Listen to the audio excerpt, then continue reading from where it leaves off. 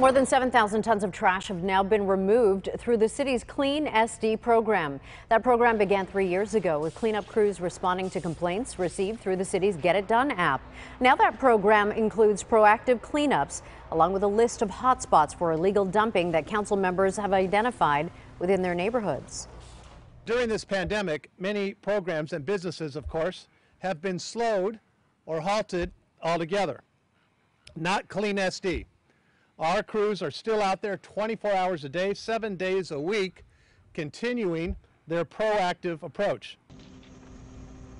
And the 7,000 tons of trash and debris collected is equal to 280,000 trash bags or 1,000 full trash trucks.